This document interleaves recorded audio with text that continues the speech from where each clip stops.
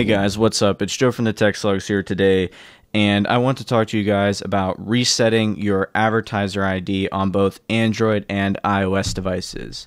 So sometimes with some of the apps that we use to make money, there are no videos, no ads, whether they be static and just web pages or if they're videos either either type of ad. Sometimes they're just not appearing and we think they should because other people are getting them or that's what other people are reporting.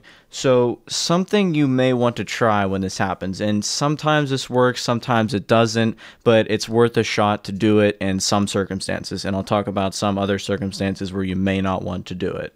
But basically we're going to talk about resetting our advertiser ID on both these devices. So it's both on settings. So on your Android device, go to settings. On your iOS device, also go to settings if you want to reset it. And then scroll down on the iOS device to privacy. Then on the Android device, scroll down to Google. You got to find the Google menu here. Once you get to the Google menu and the privacy menu, click on both. And on the privacy menu for iOS, scroll down to advertising and there it is reset advertiser identifier now i'm not going to do it now but you just click this and then it's going to ask you to confirm it basically and then on the android go to ads right here and then reset advertising ID right there. And it's also going to warn me if I want to uh, do this or not.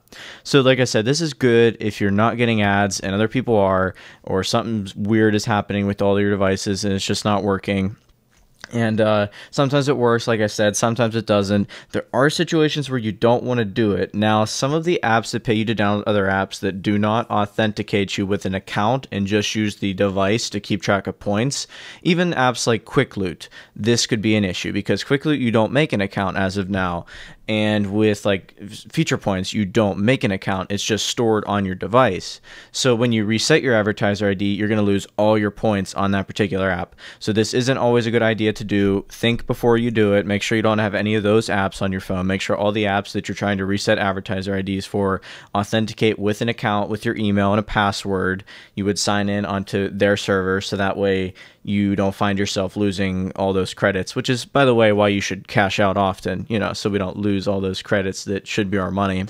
But anyway, that's that would be for another tip video. This was just a quick cash tip for you guys. If you ever have any problems getting ads, hope you guys enjoyed this episode, and I'll talk to you guys later with more money making videos. About a dollar a day with it, really, based on my tracked earnings, and I'm really pleased with the, with the results of this app. It's a fairly new app and we're going to go ahead and talk about the normal stuff, how you earn with it, the rewards, and my overall conclusion with it. So let's get started. The app Baymac is only available for